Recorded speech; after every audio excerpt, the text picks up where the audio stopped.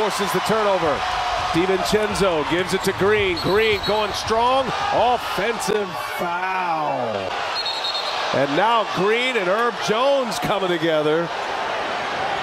Well, this feels like it could turn dark quick. Brandon Ingram now just barking.